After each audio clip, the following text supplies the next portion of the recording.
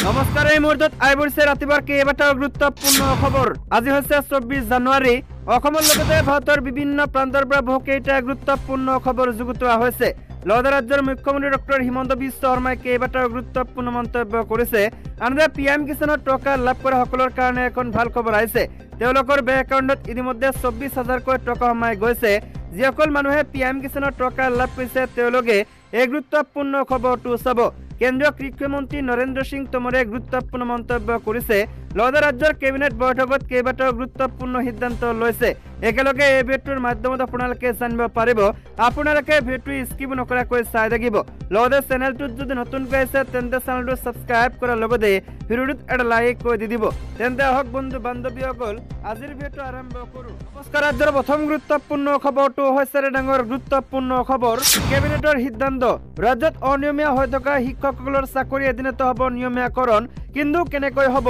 নিয়মীয়াকৰণ জানিলেও সম্পূৰ্ণ হবে। ৰাজ্যৰ কেবিনেট বৈঠকত গুৰুত্বপূৰ্ণ সিদ্ধান্ত লৈছে ৰাজ্য চৰকাৰে। ৰাজ্যত অনিয়মীয়া হৈ থকা শিক্ষকসকলৰ চাকৰি এদিনতে হ'ব নিয়মীয়াকৰণ। কিন্তু কেনেকৈ হ'ব নিয়মীয়াকৰণ জানিলেও সম্পূৰ্ণ হবে। কেবিনেটৰ বৈঠকত গুৰুত্বপূৰ্ণ সিদ্ধান্ত লৈছে ৰাজ্য চৰকাৰে।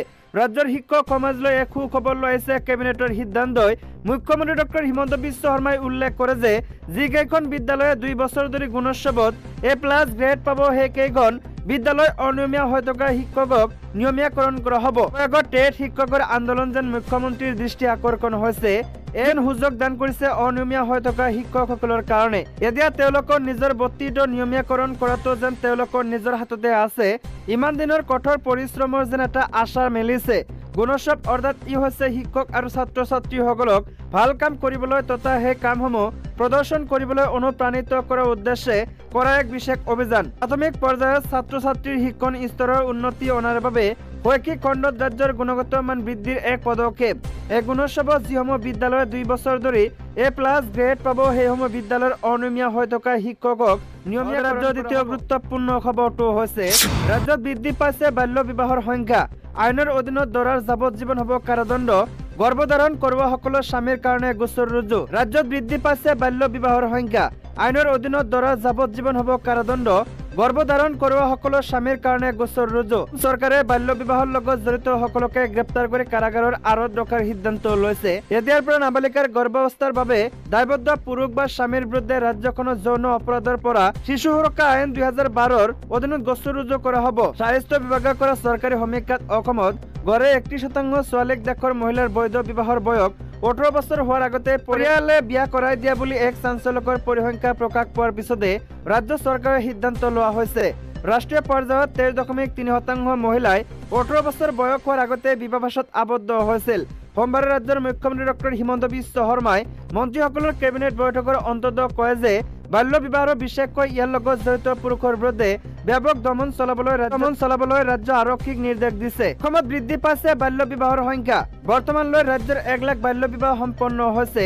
ধুবুৰীত নিষিদ্ধ বয়সত পঞ্চাছ শতাংশ বিবাহ সম্পন্ন কৰা হৈছে। কামৰূপত তেৰ শতাংশ নগাঁৱত পোন্ধৰ শতাংশ বৰপেটাত চৈধ্য শতাংশ আৰু যোৰহাটত আঠাইছ শতাংশই নিষিদ্ধ বয়সত বিবাহ বহিছে। যিহেতু নাবালিকাৰ বিৰুদ্ধে যিকোনো ধৰণৰ যৌন অপৰাধ পক্ষৰ অধীনত অপৰাধ গতিকে ৰাজ্য চৰকাৰে আইনৰ অধীনত ওঠৰ বছৰ আগতে ছোৱালীক গৰ্ভধাৰণ কৰাৰ বাবে দায়বদ্ধসকলক স্বামীক গোচৰ ৰুজু কৰাৰ সিদ্ধান্ত লৈছে।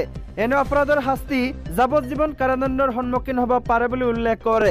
মুখ্যমন্ত্ৰীয়ে লগতে কয় যে ইয়াক কোনো ধৰ্ম বা কোনো বিশেষ সম্প্ৰদায়ৰ কথা নহয়।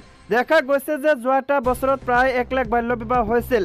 আৰু আমি এনেকৈ হ'বলৈ দিব নোৱাৰো। আটাইতকৈ গুৰুত্বপূৰ্ণ কথাটো হ'ল যে বাল্য বিবাহৰ বাবে ৰাজ্যখনৰ কেঁচুৱা আৰু মাতৃৰ মৃত্যুৰ হাৰো অধিক ৰেকৰ্ড কৰা হৈছিল।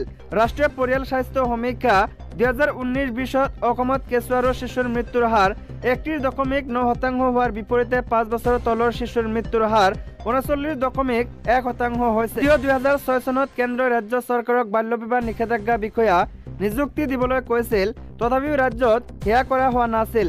কিন্তু এতিয়া আমি ইয়াক অগ্ৰাধিকাৰ হিচাপে লৈ অসমক বাল্য বিবাহৰ পৰা মুক্তি কৰিব বিচাৰিছো। কি বাল্য বিবাহৰ বলি হোৱা লোকৰ পিতৃ মাতৃয়েও আইনী ব্যৱস্থাৰ সন্মুখীন হ'বলগীয়া হ'ব পাৰে বুলি তিনি নম্বৰ ডাঙৰ গুৰুত্বপূৰ্ণ খবৰটো হৈছে ৰাজ্যৰ কৃষকসকলৰ কাৰণে যিসকল কৃষকে পি এম কিষাণৰ জৰিয়তে কেইবাটাও ইনষ্টলমেণ্টৰ টকা পূৰ্বতে লাভ কৰিছে তেওঁলোকৰ কাৰণে এখনকৈ ডাঙৰ গুৰুত্বপূৰ্ণ খবৰ আহিছে। বন্ধুসকল যদি আপোনালোকে পি এম কিষাণৰ জৰিয়তে কেইবাটাও ইনষ্টলমেণ্টৰ টকা লাভ কৰিছে তেন্তে আপোনালোকৰ কাৰণে এখন ভয়ংকৰ গুৰুত্বপূৰ্ণ খবৰ আহিছে।